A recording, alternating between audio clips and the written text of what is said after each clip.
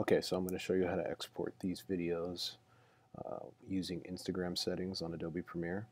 So first thing is I have my uh, video cut down to 15 seconds.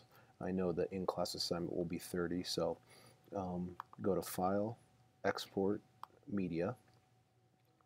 Um, then what you're going to do is you're going to make sure that it says H.264 um, on the settings and you can go you can do match source for a high bit rate okay? And you notice it says estimated file size 18 megabits so it should be between 20 you know, 5 and 20 at the most for this um, okay? So now we got to change the video settings. So down here I'm going to uncheck this and I'm going to type in 640 by 640 okay?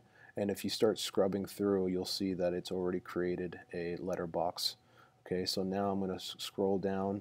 I'm going to change the target bit rate to 5 and maximum bit rate to 5 now you can go a little bit higher now that Instagram takes uh, HD quality video but for this you're just going to go uh, 5 and 5 and you notice that my estimated file size is now 9 megabits.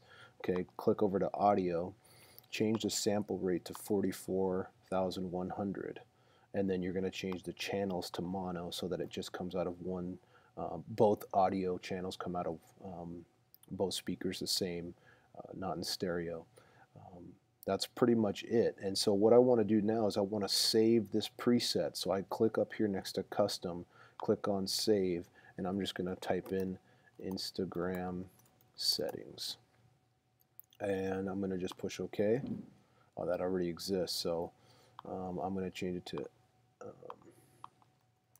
Instagram settings in class. You can name it whatever you want, but just something that you could find easily. Click OK. And so now, whenever I click on the format H.264, my custom presets are right here. So anytime I have a project that calls for Instagram settings, I'll be able to export it just by using the preset. You push export, make sure you've changed your output name to the last name, first name, and the project name. That's it. Thank